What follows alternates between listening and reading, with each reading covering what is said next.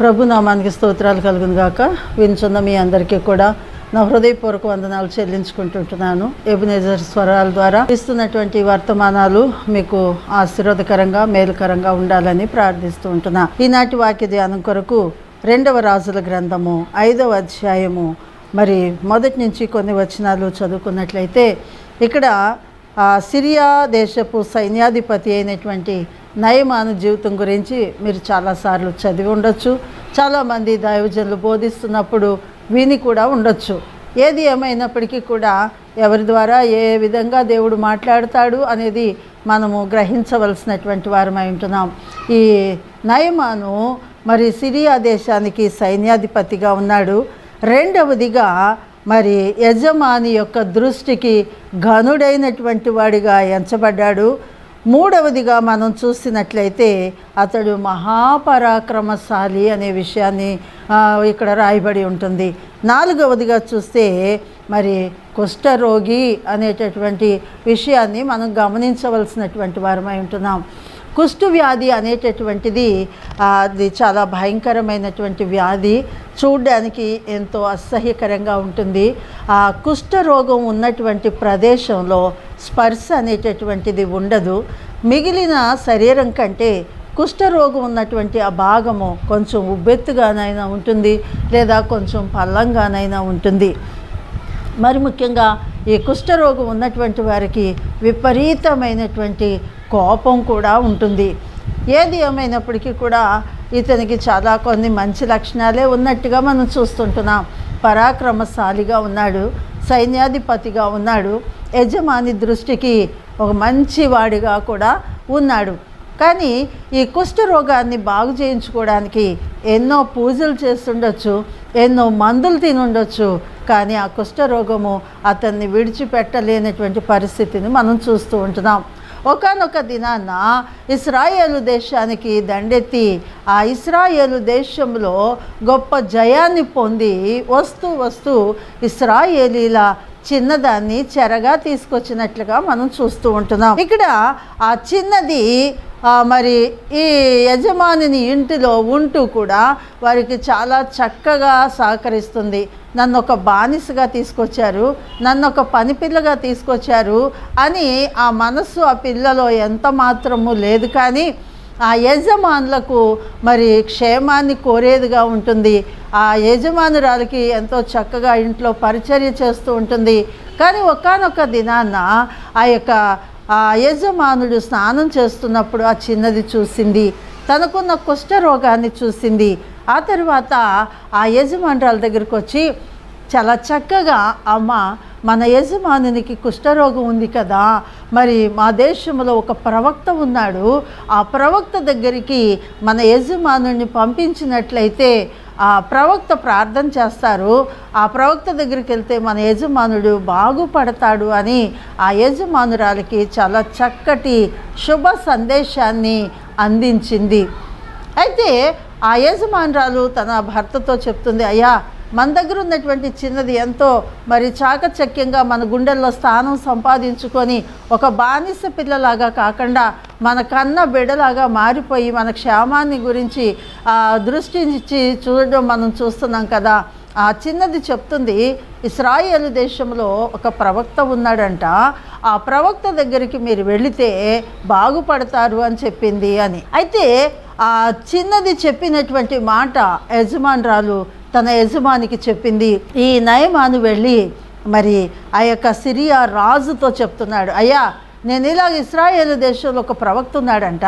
అక్కడికి వెళ్తే నేను బాగుపడతానంట నా కుష్ఠరోగం పోతుందంట అని చెప్పి మా ఇంట్లో ఉన్నటువంటి చిన్నది చెప్పింది అని చెప్తాడు. అయితే ఆ ఇస్రాయేలు రాజుకి ఈ సిరియా రాజు ఒక లెటర్ రాస్తాడు. ఇదిగో నేను నయమాన్ని పంపిస్తున్నాను అతనికి ఉన్నటువంటి కుష్ఠరోగాన్ని బాగు చేయమని ఆ తాకీదు రాసి పంపిస్తాడు. కొంత వెండి బంగారము మంచి బట్టలు కూడా ఇచ్చి పంపిస్తాడు. అయితే ఈ నయమాను ఇస్రాయేలు రాజు దగ్గరికి వెళ్ళి ఈ తాకీదు ఇచ్చినప్పుడు ఆ రాజు చూసి తన వస్త్రాలను చింపుకుంటాడు. ఎందుకంటే ఒకనికి కలిగిన కుష్ఠరోగాన్ని బాగు చేయడానికి నేనేమైనా దేవుణ్ణా? అయితే మరి సిరియా రాజు నా మీదకి కయ్యానికి ఎలా కాలు దూవుతున్నాడో చూడని ఆ వస్త్రాలను చింపుకున్నటువంటి పరిస్థితి ఆ ఎలీషా ప్రవక్తకు కనిపించింది. వర్తమానం పంపించాడు. ఇస్రాయేలు దేశంలో ప్రవక్త ఒకడు ఉన్నాడన్న సంగతి మర్చిపోయావా? ఆ వ్యక్తిని నా దగ్గరికి పంపించమని చెప్పి ఉంటున్నాడు. అప్పుడు ఈ నయమాను మరి ఎలీషా ప్రవక్త దగ్గరికి వెళ్ళడం జరిగింది. ఇంకా మరి ఏమనుకుని ఏమనుకొని ఉంటాడంటే ఆ ప్రవక్త వచ్చి నా కుష్ఠరోగం ఉన్నటువంటి ఆ భాగంలో చెయ్యి వేసి ప్రార్థన చేస్తాడు అని అనుకున్నాడు. కానీ ఆ యొక్క ప్రవక్త వచ్చి ఆ నయమాన్తో చెప్తాడు యార్ధాను నదిలో ఏడు సార్లు మునుగు నీకు స్వస్థత కలుగుతుంది అని చెప్తే చాలా కోపం వచ్చేసింది అతనికి. మా దేశంలో గొప్ప గొప్ప నదులు ఉన్నాయి నేను ఈ యార్ధాన్ నదిలో మునగడం ఏంటి అని రథాన్ని వెనక్కి తిప్పండి అని చెప్పి వెళ్ళిపోతున్నాడు రౌద్రుడై. అలాంటి పరిస్థితుల్లో సగం దూరం వెళ్ళిన తర్వాత ఆ పనివాడు ఒకడు చెప్తున్నాడు అయ్యా మీరు ఇగో వెండి తెచ్చారు బంగారం తెచ్చారు మంచి దుస్తులు తెచ్చారు కదా దైవజండు కోసం. ఇవేమైనా అడిగాడా? యార్దాన్ నదిలో ఏడు సార్లు మునుగు నీకు స్వస్థత కలుగుతుందని చెప్పాడు. ఆ చిన్నదాని మాట విని ఇంత దూరం వచ్చారు కదా. కనీసం నా మాట విని ఆ యోర్దాన్ నదిలో మునగండి. నీ సొమ్ము ఏం పోతుంది? ఒకసారి మునగరాదా అని ఆ పనివాడు చే హెచ్చరించి ఉంటున్నాడు. అయితే మరలా యాదక్కి రథం తిప్పి ఆ యొక్క యోర్దాన్ నదిలో ఎంచి ఎంచి ఒకటి రెండు మూడు అని ఎంచుకుంటూ ఆరుసార్లు మునిగిన స్వస్థత కలగలేదు. కానీ ఏడవసారి మునిగి లేచేటప్పటికి ఆ పసిపిల్ల దేహంలాగా తన శరీరం మారిపోయింది. ఆ కుష్టు వ్యాధి అంతా కూడా పోయింది. మరలా తిరిగి దైవజనుడి దగ్గరికి వెళ్ళాడు. అయ్యా ఇదిగో నేను కొన్ని బహుమానాలు తీసుకొచ్చాను. లక్ష ఇరవై వేల రూపాయల బంగారము మరి ఆ వే- ఇరువది వెండి పది మంచి దుస్తులు తీసుకొచ్చాను.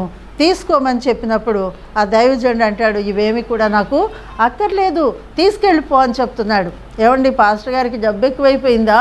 లేకపోతే బట్టలు ఎక్కువైపోయా వెండి బంగారాలు ఎక్కువైపోయా ఇస్తానంటే వద్దనే సేవకులు కూడా ఉంటారా? ఆ ఆలోచన చేసినట్లయితే ఎందుకు దైవజనుడు వద్దు అని చెప్పాడు అంటే ఆ యొక్క కుష్ఠరోగం పోయిన తర్వాత మరి దేవుని సన్నిధికి వెళ్ళి యాజకులకు తన దేహాన్ని కనుపరుచుకొని అప్పుడు మోషే నియమించిన కానుక చెల్లించి ఆ తర్వాత తన చేత్తో ఏదైనా ఇవ్వాలి. అయితే అదేమి జరగకుండా ఇస్తున్నాడు కాబట్టి ఎలీషా ప్రవక్త ఇవేవి నాకు వద్దు తీసుకెళ్ళిపోమని చెప్పి ఉంటున్నాడు. అదే మాట మనం చూసినట్లయితే మత్తయి వార్త ఎనిమిదో అధ్యాయం మొదటి నుంచి నాలుగు వచనాల్లో ఉంటుంది. ఒక కుష్ఠరోగి వచ్చి యేసు ప్రభు దగ్గరికి మ్రొక్కి ఒక చక్కగా మృదువుగా తను చేస్తున్నటువంటి మనవి చూడండి. ప్రభు నీకు ఇష్టమైతే నన్ను శుద్ధినిగా చేయగలవు అని చెప్తూ ఉంటున్నాడు. అయితే వెంటనే ప్రభు చెప్తున్నారు నాకు ఇష్టమే నువ్వు శుద్ధుడు కమ్ము అని చెప్పగానే వెంటనే తన దేహము మరి మామూలుగా అయిపోయింది. వెంటనే మోషే నియమించిన కానుకను సమర్పించమని అక్కడ హెచ్చరించినట్లుగా మనం చూస్తూ ఉంటున్నాం. కాబట్టి ఈ కుష్ఠరోగాన్ని గురించి మనం ఇందాక ఒక మాట చెప్పుకున్నాం కదా స్పర్శ అనేటటువంటిది ఉండదు. రాత్రులు వారు పడుకున్నప్పుడు ఎలకలు వచ్చి ఆ కుష్ఠరోగం ఉన్నటువంటి ఆ భాగాన్ని పీక్కొని తింటాయి. అయితే వారికి స్పర్శ తెలియదు కాబట్టి తెల్లవారిన తర్వాత చూసుకొని బోరున ఏడ్చుకుంటారు. ఆ వ్యాధి వేళ్ళను తినివేయదు కానీ ఎలకలు తినేయడం వల్ల ఆ యొక్క గాయాలు మరి లోపలికి ఆ, పచ్చిగా ఉండడం వల్ల రక్తాలు చిమ్మడం వల్ల వారు కట్లు కట్టుకుంటారు. ఆ వ్యాధి కలిగినటువంటి వారితో కలిసి భోజనం చేయడానికి మీరు ఎవరైనా ఇష్టపడతారా? కలిసి కూర్చోడానికి కానీ పడుకోవడానికి కానీ ఇష్టపడతారా? ఆ రోగము అలాంటిది. అందుకే దేవుని యొక్క లేఖనం ఇర్మియా గ్రంథము మరి పదిహేడవ అధ్యాయం తొమ్మిదవ వచనంలో చెప్తూ ఉంటున్నాడు. హృదయము అన్నిటికంటే కూడా మోసకరమైనటువంటిది అది ఘోరమైన వ్యాధి కలిగినటువంటిది దాన్ని గ్రహింపగలిగినటువంటి వాడు ఎవడు అని రాయబడి ఉంటుంది. మరి ముఖ్యంగా పైకి బాగానే ఉంటాము మంచి బట్టలు వేసుకుంటాము మంచిగా ఉంటాము కానీ మానుషి హృదయం ఎలాంటిదో దేవుడు అక్కడ తెలియచేస్తూ ఉంటున్నాడు. యషియా గ్రంథం మొదటి అధ్యాయం ఆరో వచనంలో కూడా మనిషి అరికాలు మొదలుకొని తల వరకు మంచి అనేది కొంచెం కూడా లేదని ఎక్కడ చూసినా గాయములు దెబ్బలు పచ్చి పుండ్లు అవి పిండబడలేదు కట్టబడలేదు తైలంతో మెత్తన చేయబడలేదు అని చెప్తూ ఉంటారు. కాబట్టి పైకి మంచిగానే కనపడతారు. హృదయం ఎంత మోసకరమైనటువంటిదో ఎంత ఘోరమైనటువంటిదో అని దేవుని యొక్క దాసులు తెలియజేస్తూ ఉంటున్నారు. అయితే ఇక్కడ మరి స్పర్శ ఉండదు అనే మాటను మనం గమనించాలి. ఈరోజు చాలామంది సువార్త వినబడుతుంది. దిక్కులు పెక్కటిల్లేలాగా ప్రతి ఊర్లో ప్రతి వీధిలో ప్రతి ఇంటిలో కూడా ప్రభువుని గురించి ప్రకటించబడుతున్నప్పటికీ కూడా ఇంకా చాలామంది స్పర్శ లేకుండానే హృదయంలో ఏసైకి చోటు ఇవ్వకుండానే దినాలు గడుపుతూ ఉంటున్నారు. ఇది చాలా అల్పమైనటువంటి జీవితం. ఎప్పుడు గుటుకుమంటామో తెలీదు. అయితే మరి మానవుని యొక్క ఆ జీవితం ఎంత అల్పమైనటువంటిదో దేవుని యొక్క లేఖనం తెలియచేస్తూ ఉంటుంది. ఇంతలో కనబడి అంతలో మాయమైపోయే ఆవిరి లాంటిది అని మరి యాకోబు పత్రిక నాలుగో అధ్యాయము మరి పద్నాలుగో వచనంలో రాయబడి ఉంటుంది. మరి ముఖ్యంగా ఇంతలో కనబడి అంతలో మాయపోయి మాయమైపోయే ఈ జీవితానికి మనుషులు ఎంత ఆరాటం పోరాటంతో ఉంటూ ఉంటారో. ఇంకా మనం చూసినట్లయితే రెండవ సమయాలు గ్రంథము పద్నాలుగో అధ్యాయం పద్నాలుగో వచనంలో నేలను ఒలికిన మీదట మరలా ఎత్తలేని నీటి వలె మానవుడు ఉన్నాడని అంటున్నాడు. ఒక చెంబు నీళ్ళు నేల మీద పోస్తాం మరలా చెంబు నీళ్ళు ఎత్తలేం. కాబట్టి ఆ అది ఎత్తలేని నీటి వలె ఉన్నాము అని చెప్తూ ఉంటున్నాడు. అలాగే మరి దినవృత్తాంతాలు మొదటి దినవృత్తాంతాలు ఇరవై తొమ్మిది పదిహేనులో మరి సాగిపోయే నీడ లాంటిది మనిషి జీవితము. అతిథులమును పరదేశులమై ఉన్నాము అని ఆ నీడ అంత అస్థిరము మన జీవితం అని చెప్తూ ఉంటున్నాడు. ఇవాళ ఎక్కడుంటావు? రేపు ఎక్కడ ఉంటామో ఇవాళ ఇంట్లో ఉన్నాము రేపు మట్లో ఉంటామేమో తెలీదు. ఇవాళ బాగానే ఉన్నాము రేపు ఇలాగే ఉంటామని సంతోషంగా నమ్మకం లేదు. అయితే దేవుని యొక్క లేఖనాన్ని మనం గమనించినట్లయితే దేవుని యొక్క ఆ గ్రంథాన్ని మనం పరిశీలన చేసినట్లయితే ఇక్కడ దేవుని యొక్క మాటలను మనం గమనించవలసినటువంటి వారమై ఉంటున్నాము. ఆ కుష్ఠ రోగం ఉన్నటువంటి భాగం స్పర్శ లేనట్లుగానే ఎంతగా సువార్త ప్రకటించబడుతున్న పట్టనటువంటి వారు ఇంకా మన ఇళ్ళలో మన వీధుల్లో ఉంటూనే ఉన్నారు. ఏది ఏమైనప్పటికీ కూడా ఎవరు సువార్తను నమ్మి ఏసైన హృదయంలో చేర్చుకుంటారో వారు మాత్రమే దేవుని రాజ్యాన్ని స్వతంత్రించుకుంటారని నొక్కి వక్కాణించి దేవుని యొక్క లేఖనము తెలియజేస్తూ ఉంటుంది. ఇంకా మనం చూసినట్లయితే ఆ కీర్తనల గ్రంథం నూట రెండవ దావిది కీర్తనలో కూడా మనం చూసినట్లయితే పొగ ఎగిరిపోవునట్లుగా మానవుని దినాలు ఎగిరిపోతున్నాయని నీడలాగా సాగిపోతున్నాయని చెప్తూ ఉంటున్నాడు. ఇంకా మనం చూస్తే ఆ దావిది రాసినటువంటి కీర్తన భాగము నూట మూడవ అధ్యాయం పదిహేనవ వచనంలో చూసినట్లయితే మరి గడ్డి పువ్వు లాంటిది మానవుని యొక్క జీవితము అని దేవుని యొక్క లేఖనం తెలియజేస్తుంది. కాబట్టి ఏది ఏమైనప్పటికీ కూడా ఇంత అల్పమైనటువంటి మానవుల కొరకు ఎందుకు పనికిరాని మనుషుల కొరకు యేసు ప్రభు పరలోకాన్ని విడిచిపెట్టి ఆ భాగ్యాన్ని విడిచిపెట్టి ఏమీ లేనివాడిగా రిక్తుడిగా ఈ లోకానికి వచ్చి నీకోసం నా కోసం ప్రాణం పెట్టి ఉంటున్నారు. అది నమ్మిన వారు రక్షణ పొందుతారు. నమ్మకపోతే ఆరని అగ్ని పాలైపోతారని దేవుని యొక్క లేఖనం తెలియచేస్తుంది. ఇక్కడ ఈ ఇస్రాయేలీల చిన్నది తన యజమానికి ఒక చక్కటి శుభ సందేశాన్ని సువార్తను అందించినటువంటిదిగా మనం చూస్తూ ఉంటున్నాం. కాబట్టి ఆ చిన్నది చెప్పిన మాటను బట్టి దైవజండి దగ్గరికి వెళ్ళాడు. మరి కోపం వచ్చి వెనకొస్తున్నప్పుడు వస్తున్నప్పుడు ఒక పనివాడు చెప్పిన మాటను విని మరి మరలా తిరిగి వెళ్ళినట్టుగా చూస్తున్నాం. కొంతమంది పురుషులు భార్య ఎంత మంచి చెప్పినా వినరు. కాబట్టి ఆ, ఈ చిన్నది చెప్పిన దాన్ని బట్టి వెళ్ళాడు. ఆ పనివాడు చెప్పిన దాన్ని బట్టి మరలా వెనక్కి వెళ్ళాడు. అయితే ఏది ఏమైనప్పుడు కొంతమందికి ఇంట్లో వాళ్ళు చెప్తే ఎక్కదు ఈద్లో వాళ్ళు చెప్తే ఎక్కుతుంది కొంతమంది ఈద్లో వాళ్ళు ఎంత మంచి చెప్పినా ఎక్కదు ఇంట్లో వాళ్ళు చెప్పిందే వింటారు. ఏది ఏమైనప్పటికీ ఏది చెప్పినా వినాలి అది మంచిదా చెడ్డదా కూడా గ్రహించాలి. కొంతమంది భర్త ఇంటికి రాగానే అత్తగారి మీద ఆడబడుసు మీద లేనిపోని చెప్పేస్తూ ఉంటారు. ఇంటికి వచ్చినటువంటి ఆయన విజృంభించి తల్లి మీద చెల్లి మీద పడిపోయి తిడుతూ కొడుతూ ఇలాంటివి చేసే వాళ్ళు కూడా ఉంటారు. ఆ భార్య చెప్పింది అవునా కాదా? అని పరీక్షించేటటువంటి వారు కూడా అవసరము. అలాగే మరి తల్లి చెప్తూ ఉంటుంది భార్య మీద అది విని భార్యను కొడుతూ ఉంటారు. ఏది ఏమైనప్పటికీ కూడా ఒకరు చెప్పిన మాటను వినాలి అది ఎంతవరకు సమంజసం అనేది కూడా గ్రహించాలి. ఒకసారి ఏమైందనంటే ఒక ఆవిడ తన మామగారికి అన్నం వండగానే వేడి వేడి అన్నం పెట్టేసేది. చక్కటి మంచి మంచి చేప ముక్కలు వేసి భోజనం పెట్టేది. అలాంటి పరిస్థితుల్లో మరి కొడుకుతోటి రోజు చెప్తూ ఉండేవాడు ఏదో చిన్న మొక్కేసింది ఏదో పెట్టిందిలే అని తృప్తి లేకుండా మాట్లాడేవాడు. తండ్రి అయినా మామైనా నాకు సమానమే అని ఆ కోడలు చాలా బాగా చూసేది. ఒకరోజు అలాగే మరి చేపలు తీసుకొచ్చి ఎప్పుడు ఇలాగే చెప్తున్నాడు కదా అని చెప్పేసేసి ఆ కొడుకు అటకెక్కి కూర్చున్నాడు. ఆ సంగతి భార్యకి తెలియదు తండ్రికి తెలియదు అయితే ఏం చేస్తుంది ఎలా పెడుతుంది నా భార్య అని చెప్పేసేసి గమనించాలని అటకెక్కాడు. అయితే ఆమె గబగబా అన్నం కూర వండేసి వేడి వేడిది తన మామగారికి పెట్టింది. చక్కటి పెద్ద పెద్ద ముక్కలన్నీ ఏరి వేసింది ఆ రోజు కూడా అదే మాట చెప్పాడు. చెప్పేటప్పటికి నేను చూశాను ఈరోజు.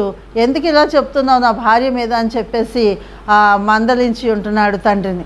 ఏది ఏమైనప్పటికీ కూడా ఈ చిన్నది ఓ చక్కటి ఆ సజెషన్ ఇచ్చింది ఆ నయమానికి ఆ భార్యకు. వారు చక్కగా మేలు పొందాలి నా యజమానుడు స్వస్థత పొందాలి అనేటటువంటి ఆలోచన కలిగి ఉంది. కాబట్టి వెళ్ళిపోతున్నాడు. ఆ వద్దన్నాడు దైవజనుడు ఏమీ తీసుకోలేదు. తిరిగి వెళ్ళిపోతున్నటువంటి పరిస్థితుల్లో ఆ దైవజనం దగ్గర ఉన్నటువంటి చిన్న పాస్టర్ గారు గెహాజీ వీటన్నిటిని చూశాడు. ఈ పాస్టర్ గారు మంచోడా? పిచ్చోడా? ఇవన్నీ తీసుకోకుండా అని చెప్పేసి ఆ రథాన్ని కలుసుకోవడానికి పరిగెడుతూ ఉన్నాడు. నయమాన్ చూశాడు. రథం ఆపండి అన్నాడు. ఆ వెళ్ళండి ఏంటో సమాచారం అంటే ఆ దైవజన్ దగ్గరికి చుట్టాలు వచ్చారు స్నేహితులు వచ్చారు బంధువులు వచ్చారు. వెండి కావాలంట బంగారం కావాలంట బట్టలు కావాలంట అని చెప్పేసి చెప్పాడు. దేవుని సేవకుడి దగ్గర ఉంటున్నటువంటి గెహాజీ చాలా కాలం జీవించాడు కానీ అతని జీవితంలో మార్పు లేకుండానే ఉన్నాడు. ఇలాంటి వారు చాలామంది సంఘాల్లో ఉంటారు సేవకులతో పాటు తిరుగుతూ ఉంటారు కానీ ఆ మార్పు లేనటువంటి జీవితాల వల్ల దేవునికి అవమానము సంఘానికి కూడా అవమానమే. ఏది ఏమైనప్పటికీ నేను ఇవ్వడానికే కదా తీసుకొచ్చాను. అలాగని ఇంకో మనిషినిచ్చి మరి ఆ యొక్క సామాగ్రిని పంపించినట్లుగా చూస్తూ ఉంటున్నాం. ఇవి తీసుకెళ్ళి దైవజనుడికి ఇవ్వలేదు కానీ తన ఇంట్లో వేసుకున్నాడు. ఏమీ ఎరగనట్టుగా దైవజన్ దగ్గరికి వచ్చి ఆ చేతులు కట్టుకొని ఉంచున్నాడు ఏం తెలియదు అన్నట్టుగా కూర్చున్నాడు. దైవజండ్ అయినటువంటి ఎలిషా అడుగుతున్నాడు గెహాజీ నీవెక్కడికి వెళ్ళావు? ఎక్కడి నుంచి వచ్చావు? అని చెప్పేసి అడిగితే ఆ అతడు ఏమంటున్నాడంటే యెహోవా జీవము నీ జీవముతోడు నేను ఎక్కడికి వెళ్ళలేదు ఇక్కడే ఉన్నానని చెప్తూ ఉంటున్నాడు. ఆలోచన చేయండి. అప్పుడు దైవజనుడు చెప్తున్నాడు నువ్వు పరుగు పరుగున వెళ్తున్నప్పుడు ఆ గెహాజీ ఆ నువ్వు వెళ్తున్నటువంటి మార్గంలో ఆ నయమాను రథం నిలిపి మనిషిని పంపించినప్పుడు నువ్వు పరుగు పరుగున వెళ్తున్నప్పుడు నా ఆత్మ నీతో కూడా రాలేదా? అది ఈ దినాల్లో మనం చూసినట్లయితే దేవుని సేవకుడే కదా మనలాంటి మనిషే కదా అని చాలామంది అబద్ధాలు ఆడుతూ ఉంటారు. అననీయ సపేరాలు కూడా దేవుని సేవకుడితోటి అబద్ధమాడి చనిపోయినట్లుగా మనం చూస్తూ ఉంటున్నాం. అక్కడే అక్కడే ఇంతకే అమ్మారు అమ్మ అని అడిగితే అవును ఇంతకే అని అననీయ చెప్పాడు. మరి సపీరా కూడా ఇంతకే అమ్మామని చెప్తుంది. ఆలోచన చేయండి అమ్మాము కొంత మేము ఉంచుకున్నాము కొంత తీసుకొచ్చాము అంటే ఆ నిజం చెప్తే వారు చనిపోయి ఉండేవాళ్ళు కాదు కదా. అలాగే ఎన్నో విషయాల్లో మాటల్లో తలంపుల్లో చూపుల్లో ప్రవర్తనలో మనం తప్పిపోతూనే ఉంటాము. అందుకే పౌల్ గారు చెప్తాడు దిన దినము నా శరీరాన్ని నలగొట్టుకుంటున్నాను అని చెప్తూ ఉంటాడు. ఏ దినానికి ఆ దినము? మన పాపాల రాసి ఆ మన అవిధేయతలు సరి చేసుకొని ప్రభు పాదాల దగ్గర కిన్నులమై మరి మన అవిధేయతలు దిద్దుకొని మరి దేవునికి ఇష్టలుగా జీవించాలన్నదే దేవుని యొక్క ఉద్దేశము. మరి నీతిమంతుడు లేడు ఒక్కడు కూడా లేడు. అందరూ పాపం చేసి దేవుడు అనుగ్రహించే మహిమను పొందలేకపోతున్నారని దేవుని యొక్క లేఖనం తెలియచేస్తూ ఉంటుంది. ఈ చిన్నది చక్కటి శుభవార్తను తెలియచేసింది. నయమాను వచ్చేటప్పుడు ఆ యొక్క ఎలీషా ప్రవక్త దగ్గర అంటాడు అయ్యా మీ దేశంలో మట్టి ఎంత ప- పుణ్యభూమో ఇది. కాబట్టి రెండు గాడిదలు మోసి అంత మట్టి నిమ్మని తీసుకొచ్చాడు. ఏం చేస్తుంటాడు ఆ మట్టి తీసుకొచ్చి? వచ్చిన వాళ్ళందరికీ ఒక చిన్న చిన్న వండలు చేసి మందుగా మాత్రగా ఇచ్చుంటాడు అనుకుంటున్నారా? ఆలోచన చేయండి ఈ కుష్ఠరోగం బాగైందనేటప్పటికీ చుట్టాలు బంధువులు స్నేహితులు తన హోదాకు తగినటువంటి వారు చుట్టుపక్కల ఊళ్ళ నుంచి కూడా ఏంటి కుష్ఠరోగం పోవడమా? ఎప్పుడు కూడా జీవితంలో ఎక్కడా చూడనటువంటి అద్భుతమా? అని చెప్పేసి ఎంతోమంది జనసమూహము వస్తుంటే ఈయన జరిగిన సన్నివేశాన్ని సాక్ష్య రూపంలో చెప్తున్నాడు. తను తీసుకొచ్చినటువంటి మట్టి ఒక చక్కటి బలిపీఠం కట్టుకొని ఇస్రాయేలీల చిన్నది ఆ ఇస్రాయేలీల చరిత్రను ప్రకటిస్తూ ఉండి ఉండొచ్చు. కదండి? ఆలోచన చేయండి ఆ పిల్ల చిన్నదైనప్పటికీ కూడా ఇస్రాయేల్ దేశంలో ఉన్న ప్రవక్త దగ్గరికి ఒక అన్యుణ్ణి పంపించింది. అతని మేలు కోరుకుంది. అంతేకాకుండా ఆ యొక్క ప్రదేశంలో మరి గొప్ప సాక్షిగా జీవించినట్లుగా మనం చూస్తూ ఉంటున్నాం. ఇస్రాయేలీల దేవుడు చేసిన అద్భుతాల గురించి ఈ చిన్నది చెప్తూ ఉండొచ్చు. వచ్చిన జన సమూహం ఆ మాటలు వింటూ ఉండొచ్చు. ఎర్ర సముద్రాన్ని పాయలు చేసిన వాడు మా దేవుడు. ఆకాశము నుంచి మన్నాను కురిపించి ఇస్రాయేలు ప్రజలను పోషించిన వాడు మా దేవుడు. అలాగే అని చెప్పేసేసి మరి ఎరుకో కోట గోడలను కూల్చినటువంటి దేవుడని ఇలాగా ఎన్నెన్నో మరి జరిగిన సన్నివేశాలు ఆ పాప చెప్తూ మరి అనేక మందిని దేవుని తట్టు త్రిప్పెడి శక్తి కలిగినటువంటిదిగా ఉంది అని మనం గమనించవలసినటువంటి వారమై ఉంటున్నాం. కాబట్టి ఆ చిన్న పిల్ల ఒక సైన్యాధిపతిని దేవుని దగ్గరికి నడిపించగలిగింది అంటే ఆలోచన చేయండి. పెద్ద పెద్దోళ్ళుగా ఉండి కూడా ఎవరికి సువార్త ప్రకటించలేని స్థితిలో ఉంటున్నారు. అయ్యో నేను సువార్త ప్రకటించకపోతే నాకు శ్రమ అని పౌలు చెప్తూ ఉంటున్నాడు. కాబట్టి ఇక్కడ సువార్త ఎవరు ప్రకటించాలి అనే విషయాన్ని మనం జ్ఞాపకం చేసుకుంటే చాలామంది అనుకుంటారు సేవకులు మాత్రమే ప్రకటించాలని అనుకుంటూ ఉంటారు. సేవకులు అంటే వాళ్ళు కూడా ఒకప్పుడు దేవుని ఎరగని వారే.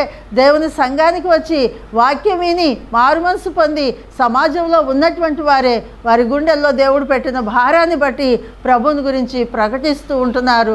సువార్త అందరికీ అందించాలని దేవుడు ఆశ కలిగి ఉంటున్నాడు. ఏ ఒక్కరూ నశించిపోవడం దేవునికి ఇష్టం లేదు. అందరూ అంతటా మార్పు చెందాలని ఆయన ఎదురు చూస్తూ ఉంటున్నాడు.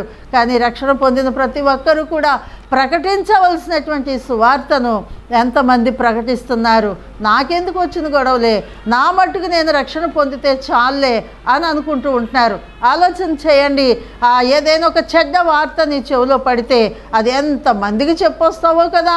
అలాంటిది మరి పరలోకానికి వెళ్ళే మార్గం నీకు తెలుసుంటే నిజంగా ఆ ప్రభువుని గురించి నువ్వు చెప్పకుండా ఉండలేవు కదా? చెప్పకుండా ఉంటున్నావంటే ఇంకా నీకే సరిగా అర్థం కాలేదేమో. నాకు చదువు లేదండి నేను చెప్పలేనండి అని చెప్పి చాలామంది సమర్థించుకుంటుంటారు యేసు ప్రభు శిష్యులు ఏం చదువుకున్నారు? విద్య లేని పామర్లను ఎన్నుకొని భూలోకాన్ని తలక్రిందులుగా చేసేవారిగా రకరకాల దేశాలకి చెదిరిపోయి ప్రభువుని గురించి వారు ప్రకటించి ఉంటున్నారు. కాబట్టి ఈ దినాన్ని సువార్త వింటున్నటువంటి దేవుని మాటలు వింటున్నటువంటి మీ జీవితాల్లో ప్రభుని గురించి ప్రకటిస్తున్నారా? ప్రభు కొరకు భారం కలిగి ఉన్నారా? నశించిపోతున్న ఆత్మల కొరకు ప్రసవ వేదన కలిగి ఉండాలని దేవుడు తెలియజేస్తూ ఉంటున్నాడు. ఒక్క జనాంగాన్ని కనడానికి ఒక్క నాటి ప్రసవ వేదన చాలదంటున్నాడు నీ వల్ల ఒకళ్ళు కూడా మందిరానికి రావట్లేదేమో. లేకపోతే ఎవరిని నువ్వు తీసుకురాలేని పరిస్థితిలో ఉన్నావేమో? ఎవరికి సువార్త ప్రకటించలేని స్థితిలో ఉన్నావేమో?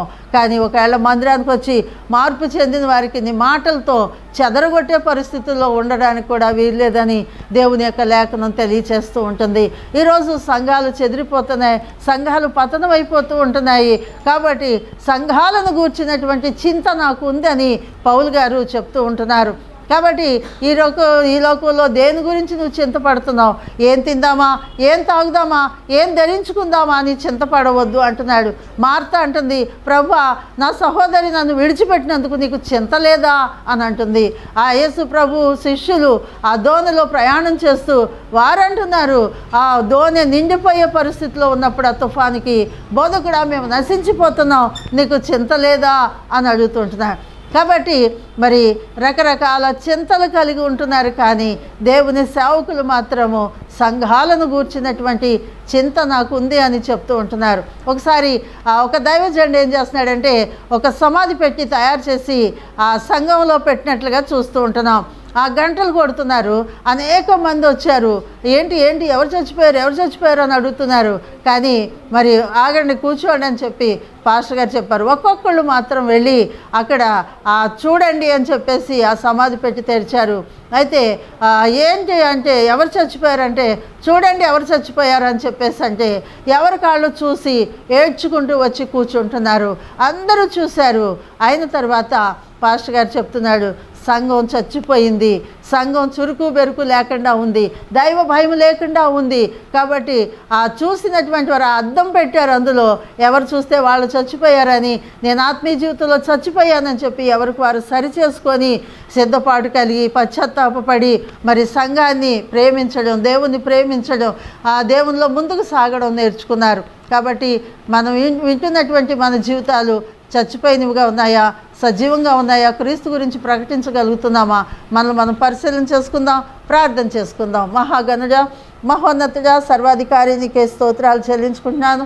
ఇస్రాయేలీల చిన్నది అయ్యా నైనా సైన్యాధిపతికి సువార్త ప్రకటించగలిగింది ప్రభు అయ్యా ఈరోజు అనేక మంది రక్షణ పొందినటువంటి వారు కూడా నిర్లక్ష్యంగా ఉంటున్నారు. పక్కన ఉన్నటువంటి వారికి కూడా సువార్త చెప్పలేని పరిస్థితిలో ఉంటున్నారు. ఇంట్లో ఎంతోమంది రక్షణ లేనటువంటి వారు ఉంటున్నారు. వారి గురించి బాధ్యత తీసుకోలేనటువంటి వారుగా ఉంటున్నారు. నా జన్లలో హతులైన వారిని గురించి నా తల జలమయంగాను నా కన్ను కన్నీళ్ళ ఓటగా చేసుకున్నానని ఇర్మియా తొమ్మిదో అధ్యాయం మొదటి వచనంలో చెప్తున్నాడు. మీరు మీ అపరాధముల చేత పాపముల చేత చచ్చిపోయారు అంటున్నాడు. క్రీస్తు ప్రభు మిమ్మల్ని బ్రతికించడానికే ఈ లోకానికి వచ్చాడని తెలియచేస్తున్నాడు. ఎపిఎస్సీలకు రాసిన పత్రిక రెండో అధ్యాయం మొదటి వచనంలో.